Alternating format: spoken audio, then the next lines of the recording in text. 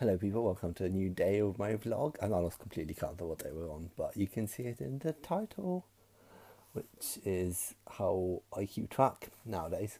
My beard's coming along again, I need to shave, but my nails are perfect.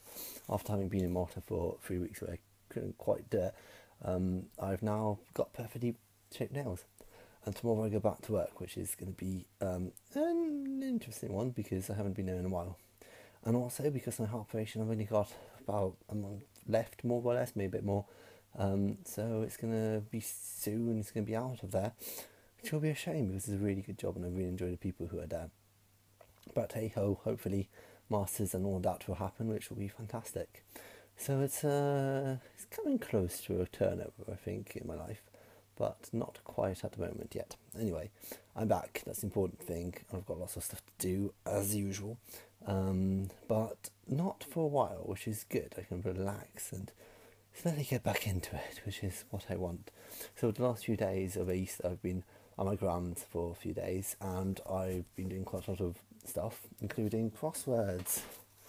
Yay! So, in case you don't know, here in Britain we've got something called a cryptic crossword, where um, the definition isn't just you know capital of Spain, which is Madrid, Barcelona, one to two.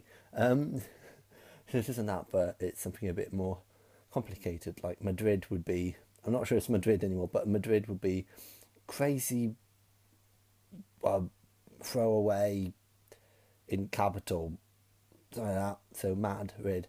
And I really enjoy these. It's really good to stimulate your brain. So I've been making my own, which is quite good fun.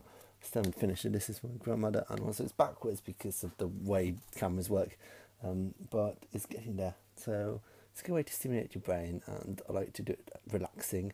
We used to do it at work every day, and it's good. I think crosswords are a good way to keep your brain active, so continue doing them.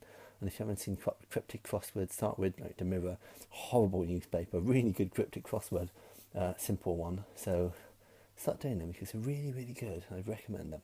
Uh, anyway, give it a look, and I'll see you tomorrow. Have a good evening. Bye.